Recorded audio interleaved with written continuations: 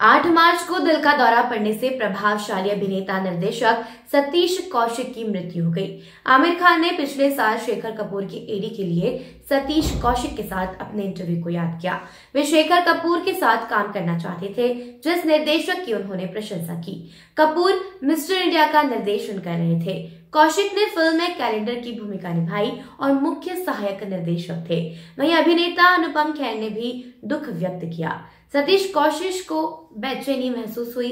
अस्पताल ले जाते वक्त उन्हें दिल का दौरा पड़ा। आमिर ने बताया कि वे अपने पसंदीदा निर्देशक शेखर कपूर से मिले। उन्होंने एक बैठक में अपने काम के प्रस्तावित प्रस्तुत किए। अभिनेता ने याद किया कि कागज़ी कार्यवाही ने सभी को प्रभावित किया क्योंकि उस समय इंडस्ट्री में कोई भी कागज़ी कार्यवाही नहीं करता था।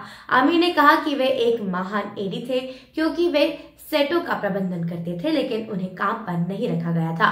बाद में सतीश ने उन्हें बताया कि आमिर मीटिंग में कार से आए थे और उनके पास कार नहीं थी। कौशिक ने मान लिया था कि उनके जूनियर किरदार के पास एक कार है।